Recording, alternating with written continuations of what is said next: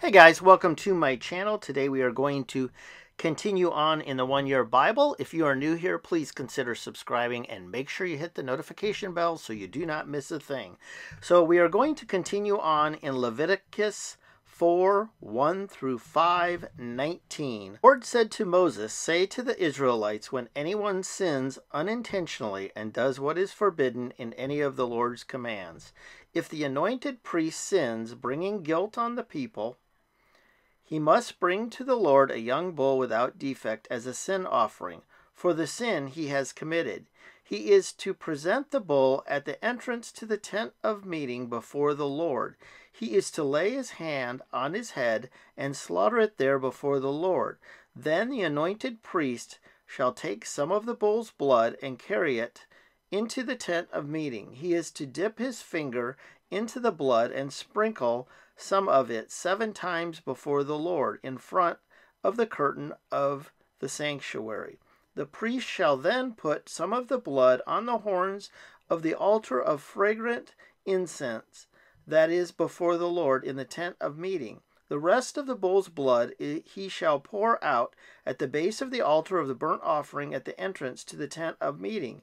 He shall remove all the fat from the bull of the sin offering, all the fat that is connected to the internal organs, both kidneys with fat on them near the loins, and the long lobe of the liver, which he will remove with the kidneys. Just as the fat is removed from the ox sacrificed as a fellowship of uh, as a fellowship offering, then the priest shall burn them on the altar of burnt offerings. But the hide on the bull and all its flesh as well as the head and legs, the internal organs and the intestines. That is all the rest of the bull. He must take outside the camp to a place ceremonially clean, where the ashes are thrown, and burn it there in the wood fire on the ash heap. If the whole Israelite community sins unintentionally and does what is forbidden in any of the Lord's commands, even though the community is unaware of the matter, when they realize their guilt and the sin they committed because becomes known known the assembly must bring a young bull as a sin offering and present it before the tent of meeting. The elders of the community are to lay their hands on the bull's head before the Lord, and the bull shall be slaughtered before the Lord. Then the anointed priest is to take some of the bull's blood into the tent of meeting. He shall dip his finger into the blood and sprinkle it before the Lord seven times in front of the curtain. He is to put some of the blood on the horns of the altar that is before the Lord in the tent of meeting. The rest of the blood he shall pour out at the base of the altar of the burnt offering at the entrance to the tent of meeting. He shall remove all the fat from it and burn it on the altar, and do with this bull just as he did with the bull for the sin offering. In this way, the priest will make atonement for the community, and they will be forgiven. Then he shall take the bull outside the camp and burn it, as he burned the first bull. This is the sin offering for the community. When a leader sins unintentionally and does what is forbidden in any of the commands of the Lord, his God, when he realizes his guilt, and the sin he has committed becomes known, he must bring as his offering a male goat without defect. He is to lay his hand on the goat's head and slaughter it at the place where the burnt offering is slaughtered before the Lord. It is a sin offering. Then the priest shall take some of the blood of the sin offering with his finger and put it on the horns of the altar of the burnt offering and pour out the rest of the blood into the base of the altar. He shall burn all the fat on the altar as he burned the fat on the fellowship offering. In this way the priest shall the priest will make anoint atonement for the leader's sin and he will be forgiven. If any member of the community sins unintentionally and does what is forbidden in any of the Lord's commands, when they realize their guilt and the sin they have committed becomes known, they must bring as their offering for the sin they committed a female goat without defect. They are to lay their hands on the head of the sin offering and slaughter it at the place of the burnt offering. Then the priest is to take some of the blood with his finger and put it on the horns of the altar of the burnt offering, and pour out the rest of the blood at the base of the altar. They shall remove all the fat, just as the fat is removed from the fellowship offering, and the priest shall burn it on the altar as an aroma pleasing to the Lord. In this way, the priest will make atonement for them, and they will be forgiven. If someone brings a lamb as a sin offering, they are to bring a female without defect. They are to lay their hand on its head and slaughter it for the sin offering at the place where the burnt offering is slaughtered. Then the priest shall take some of the blood of the sin offering with his finger and put it on the horns of the altar of burnt offering and pour out the rest of the blood at the base of the altar.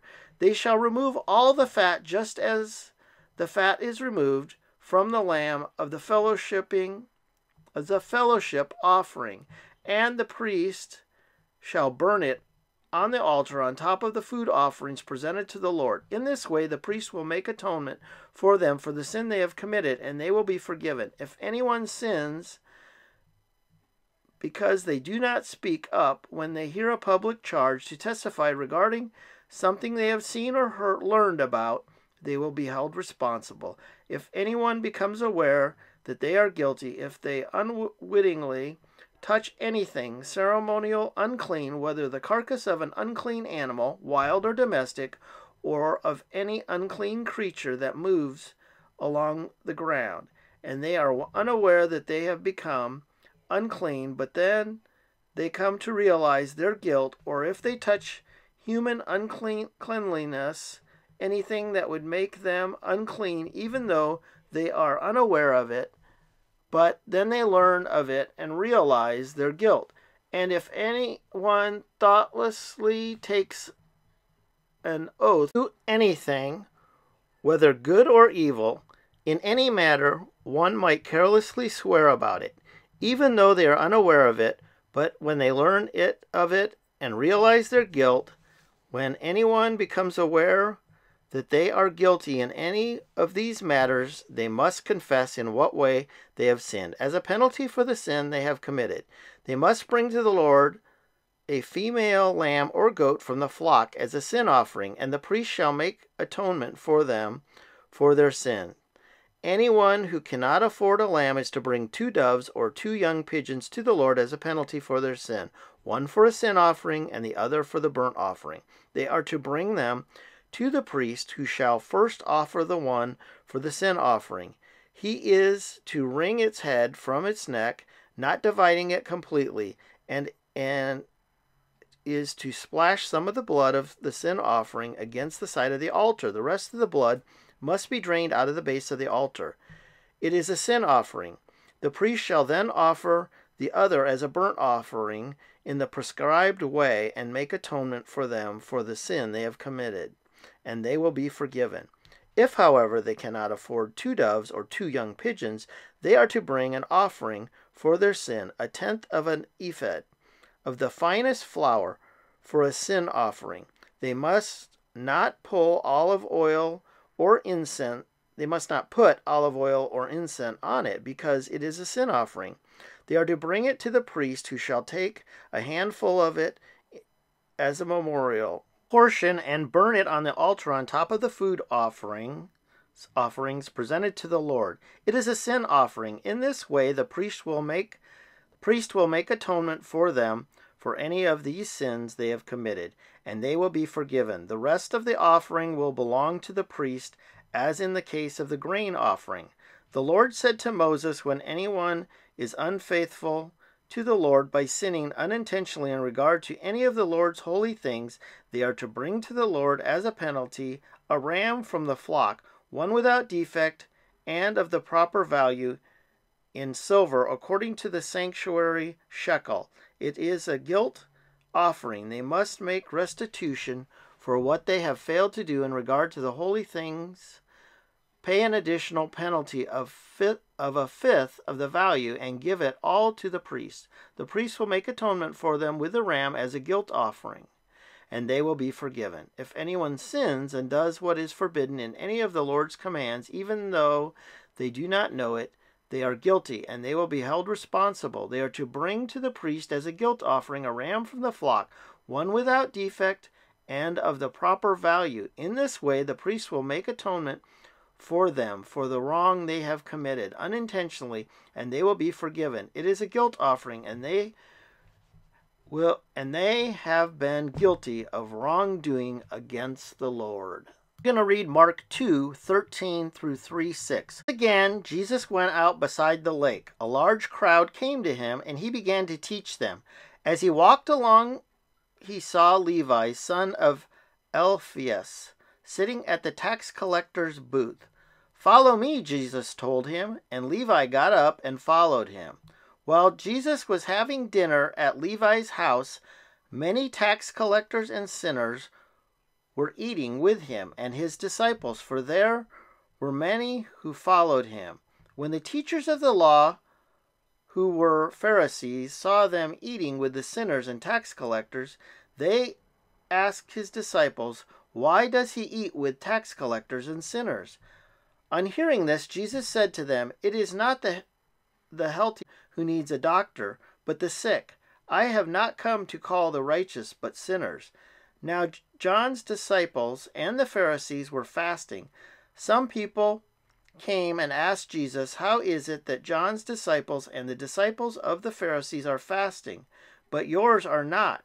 Jesus answered, How can the guests of the bridegroom fast while he is with them? They cannot, so long as they have with him with them. They cannot so long as they have him with them. But the time will come when the bridegroom will be taken from them, and on that day they will fast. No one sews a patch of unshrunk cloth on an old garment, otherwise, the new piece will pull away from the old, making the tear worse. And no one pours new wine into old wineskins, otherwise, the wine will burst the skins and both the wine and the wineskins will be ruined. No, they pour new wine into new wineskins. One Sabbath, Jesus was going through the grain fields, and as his disciples walked along, they began to pick some heads of grain. The Pharisees said to him, Look, why are they doing what is unlawful on the Sabbath? He answered, Have you never read that David did have you never read what David did when he and his companions were hungry and in need? In the days of Abiathar the high priest, he entered the house of God and ate the consecrated bread, which is lawful only for priests to eat. And he also gave some to his companions. Then he said to them, The Sabbath was made for man, not man for the Sabbath. So the Son of Man is Lord, is Lord's even of the Sabbath. Another time, Jesus went into the synagogue, and a man with a shriveled hand was there. Some of them were looking for one for a reason to accuse Jesus, so they watched him closely to see if he would heal him on the Sabbath. Jesus said to the man with the shriveled hand, Stand up in front of everyone. Then Jesus asked them, Which is lawful on the Sabbath, to do good or to do evil, to save life or to kill. But they remained silent. He looked around at them in anger and, deeply distressed at their stubborn hearts, said to the man, Stretch out your hand. He stretched it out, and his hand was completely restored. Then the Pharisees went out and began to plot with the Herodians how they might kill Jesus. Now we're going to read Psalms 36, 1 through 12 for the director of music of David, the servant of the Lord. I have a message from God in my heart concerning the sinfulness of the wicked. There is no fear of God before their eyes. In their own eyes, they flatter themselves too much to detect or hate their sin. The words of their mouths are wicked and deceitful. They fail to act wisely or do good. Even on their beds, they plot evil. They commit themselves to a sinful course and do not reject what is wrong. Your love, Lord, reaches to the heavens, and your faithfulness to the skies. Your righteousness is like the highest mountains, your justice like the deep, like the great deep. You, Lord, preserve both people and animals. How priceless is your unfailing love, O God! Take People take refuge in the shadow of your wings. They feast on the abundance of your house. You give them drink from your river of delights. For with you is the fountain of life. In your light we see light. Continue your love to those who know you. Your righteousness is to the upright in heart. May the foot of a proud of the proud not come against me, nor the hand of the wicked drive me away. See how the evildoers lie fallen, thrown down, not able to rise. Now we're going to read Proverbs 10 1 through 2.